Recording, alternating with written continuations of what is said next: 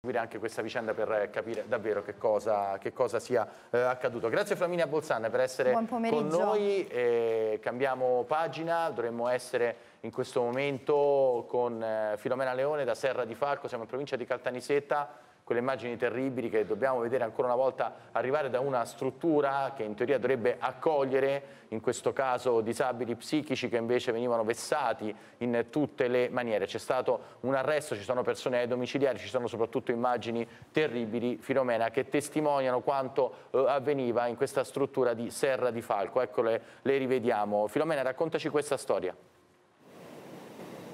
Esatto Gianluca, quello che vedete alle mie spalle è proprio l'edificio, l'edificio della struttura che ospitava i nove anziani disabili che sono stati sostanzialmente, ehm, eh, hanno subito dei soprusi, sono stati malmenati, maltrattati, ci sono dei video così come accennavi tu che proprio testimoniano quanto è accaduto. Gli operatori, uno di questi finito in carcere, altri due agli arresti domiciliari, ehm, praticamente eh, malmenavano maltrattivano queste persone, eh, ci sono video come potete vedere violenti, eh, le percosse, molte volte eh, schiaffi, pugni e addirittura li picchiavano, pensate, con le sedie, ci sono anche video di questo tipo, addirittura c'è un video emblematico secondo gli investigatori perché un non vedente veniva picchiato selvaggiamente proprio da uno di questi operatori. Le misure di custodia cautelare sono cinque come dicevamo e quindi questa è la storia, immagini veramente veramente shock che ci arrivano da Serra di Falco in provincia di Caltanissetta. Siamo ancora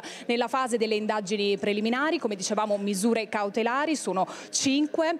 Le indagini sono coordinate dalla Procura di Caltanissetta e dal NAS di Ragusa. È stato proprio il NAS a piazzare le telecamere nascoste all'interno proprio della struttura dove ecco, venivano allora... ospitati questi nove sì, tra, tra l'altro sono... erano anche malnutriti perché non davano loro da mangiare, quindi ecco, questi poco, anziani Tra poco Filomena ci racconterai anche grazie a Nass di Ragusa come è partita questa, questa, inchiesta, le immagini sono più che eloquenti. Insomma. Sì, prima però vogliamo vedere in questo filmato la ricostruzione eh, dell'accaduto, da brividi.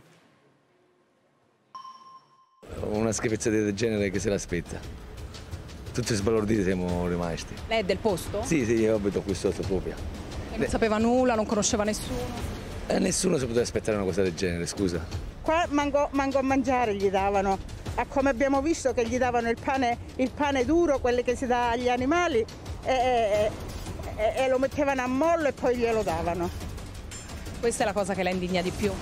Tutto, veramente è una cosa che non si può manco, manco né pensare. Né... Qui a Serra di Falco, in provincia di Caltanissetta, nessuno se lo aspettava. Sono increduli i cittadini per l'inchiesta su una struttura per disabili trasformata in un girone dell'inferno. E quanto si vede nei video delle telecamere nascoste che mostrano anziani, inermi e indifesi, picchiati, vessati, insultati e malnutriti. I nove ospiti dell'istituto affetti da gravi disabilità psichiche, vittime di presunti soprusi. Le indagini condotte dal NAS di Ragusa sotto la direzione della Procura di Caltanissetta si basano su pedinamenti, intercettazioni registrazioni e video delle telecamere nella sede della struttura socio-assistenziale di Serra di Falco, ora posta sotto sequestro. Ci sono rimasto malissimo, indignato. Io ho una mamma che ha 86 anni e sapere una cosa del genere, bruttissimo. Sdegno sicuramente non immaginavo una cosa del genere. Cinque le misure di custodia cautelare emesse dal GIP per gesti inimmaginabili. L'operatore di 53 anni, finito in carcere, deve rispondere delle accuse di violenza sessuale aggravata perché avrebbe abusato di una donna di 80 anni, abbandono di incapaci ed esercizio abusivo della professione infermieristica per aver somministrato medicinali. L'uomo si è rifiutato di rispondere all'interrogatorio del giudice per le indagini preliminari. Passavano da questa farmacia perché siamo praticamente di fronte. Non ha mai notato nulla di strano? Milano non ha mai avuto alcun sospetto? Assolutamente no. Per il gestore e un'operatrice disposti gli arresti domiciliari, interdetti dalla professione per un anno altri due dipendenti. La spesa stanziata per il sostentamento dei nove disabili era di soli 200 euro al mese. I pazienti infatti erano malnutriti e alimentati solo con pane raffermo, ammollato in acqua, recuperato dagli scarti. Insomma, un modo per risparmiare e guadagnare il più possibile dalle pensioni degli ospiti, costretti a vivere di stenti e privazioni. Allora, Flaminia, Flaminia Bolzano, abbiamo visto queste immagini raccapriccianti, l'idea che ci si possa accanire contro degli indifesi e quanto di più orrendo si possa eh, pensare, ma il fatto che ci fossero delle telecamere nascoste, piazzate, indica che qualcuno ha denunciato. Si sa da chi proviene la denuncia, se dai parenti delle vittime, se da qualcuno all'interno? No, personalmente non sono in grado di dirti chi abbia fatto questa denuncia, ma comunque insomma sicuramente dovendone parlare ex post un plauso a questa persona perché ha posto l'attenzione su una situazione gravissima.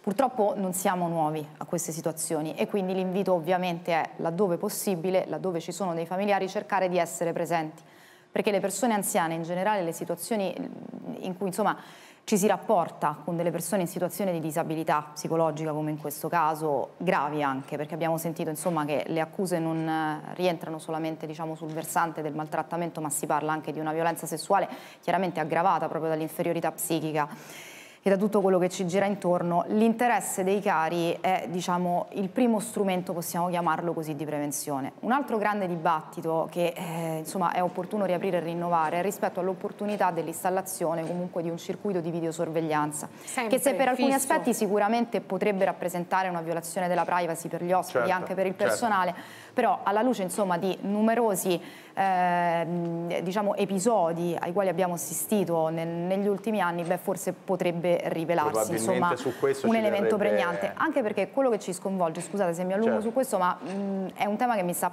particolarmente a cuore perché tutti quanti diciamo, ci troviamo a sperimentare nel nostro ambito familiare situazioni in cui magari abbiamo un caro che non siamo in grado di assistere certo. e che quindi eh, collochiamo magari in una, in una struttura. Allora sicuramente valutare anche il personale personale, perché qui siamo insomma non di fronte a persone che magari possono aver avuto una reazione abnorme perché eh, prese dallo stress in relazione ad una situazione complicata per la gestione di pazienti. Qui siamo di fronte a veri e propri atti di sadismo, o perlomeno questa diciamo è la mia interpretazione. Atti, atti gratuiti, Flaminia, da sì. quello che sappiamo peraltro, per capire probabilmente come è nata questa inchiesta, se come diceva Roberta qualcuno ha denunciato o se era un controllo, se c'erano dei sospetti, possiamo tornare a Serra di Falco, in eh, provincia di Caltanissetta, Filomena Leone, dovresti essere con il comandante di NAS di Ragusa, è così Filomena?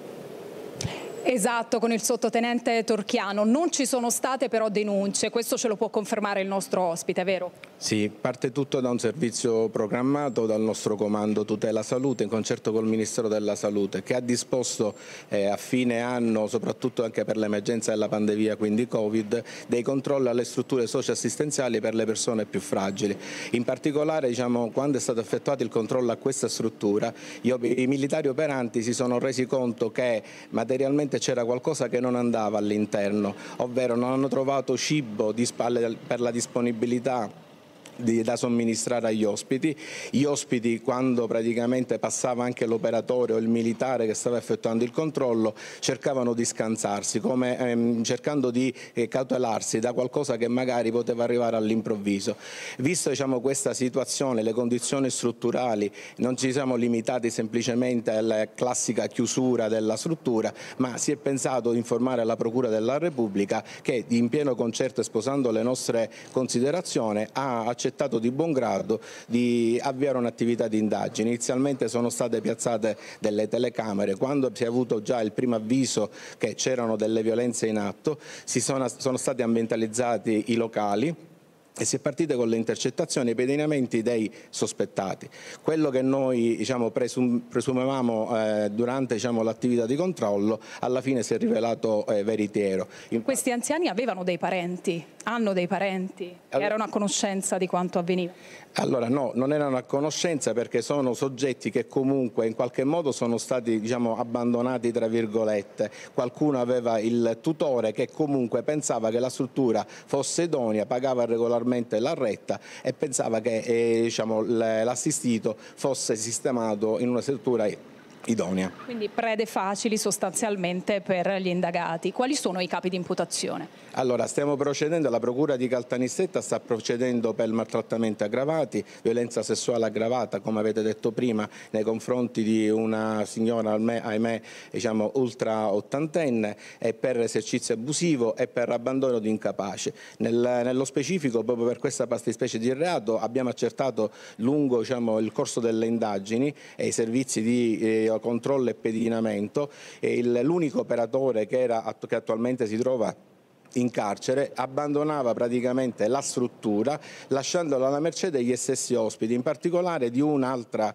eh, ospite che ahimè era schizofrenica che in qualche modo prendeva la sembianza di colui il quale aveva lasciato la struttura che utilizzava spesso e volentieri anche diciamo, le mani eh, o bastoni dire. per picchiare i... Eh, gli altri ospiti della struttura stessa.